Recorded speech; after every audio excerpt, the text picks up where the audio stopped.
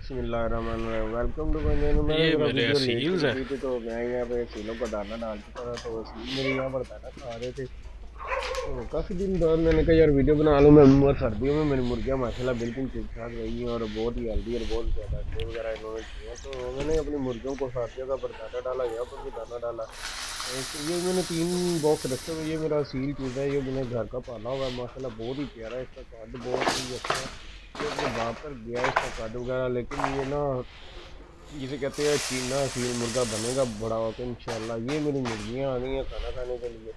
और क्योंकि मैं इनको सुबह मॉर्निंग में खोला था तो मॉर्निंग में आपको पता है, जब खोलते हैं तो मुर्गा वगैरह खाना खाने के लिए जल्दी आ जाती हैं। ये मुर्गियाँ मैंने सारी खोली हुई हैं। तो कुछ मुर्गियाँ मेरी कोट में बैठी हुई हैं, उन्होंने अंडे वगैरह मैंने उनके नीचे रखे हुए हैं, बारह बारह, ये माशाला मेरे अंडे हैं, ये हैचिंग पे आए हुए हैं, तकरीबन सतारह सोलह, सतारह सतारह दिन हो गए एक मुर्गी ये एक मुर्गी ये है। वो मुर्गी वगैरह वगैरह, उसके दाना वगैरह खाने के लिए गई है ये मुर्गी बैठी है, बिल्कुल ठीक ठाक है, माशाल्लाह। आप लोग दुआ कीजिएगा यार, मेरे सारे के सारे अंडों में से ना बच्चे निकल आए यार। मैं बहुत रहता ना, परेशान रहता हूँ मेरे बच्चे ना अंडों में से जल्दी जल्दी निकल आए।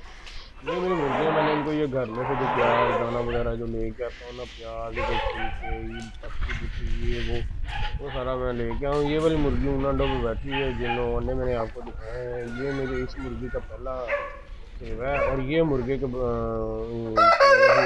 हुई है बाद मैंने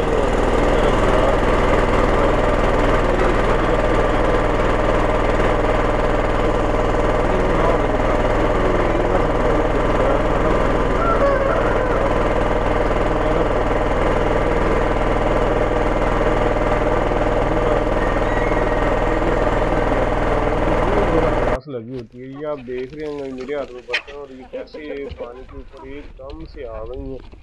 माशाल्लाह, ये ना, इस, धूप भी आज निकली थी, मौसम भी बड़ा अच्छा था तो फिर मैंने इनको ना गर्म पानी डाला और इन सबने ना दिल भर के पानी पिया। सर्दियों में पानी इसलिए गर्म डालता हूँ ताकि इनके गले वगैरह जो है ना, वो ख़राब ना हो। ये देखिए आगा सूरज भी निकला हुआ मौसम भी अच्छा है तो मुर्गियाँ भी अच्छी हैं। ये मौसम जब हल्की सी धूप निकले तो ऐसा मौसम ना मुर्गियों के लिए बड़ा अच्छा रहता है।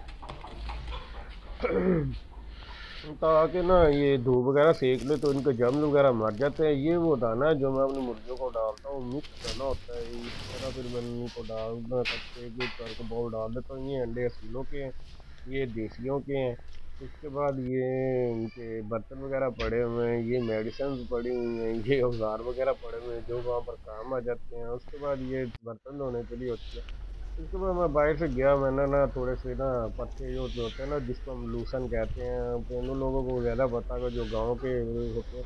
फिर मैंने उनको ये डाला, ताकि ये खा लें। ये गर्म होता है, ये सर्दियों में बहुत मफीद होता है। इसके बाद उस मुर्गी को मैंने ना थोड़ा सा ना गिड़का ताकि क्योंकि इसका पहला सेवा है, ताकि ये अंडों पे बैठ जाए। इसके बाद मैंने ना इसको बंद किया और ताकि अंडों पे बैठ जाए।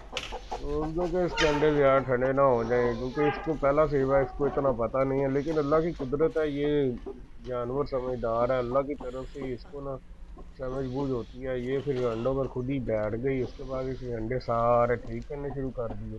मैंने इसके जो है पोकड़ को बंद किया। दूसरी मुर्गी, माशाल्लाह, मेरी उठती नहीं। जो जो मेरे चैनल पर नया, मेरे चैनल को लाइक शेयर और सब्सक्राइब करते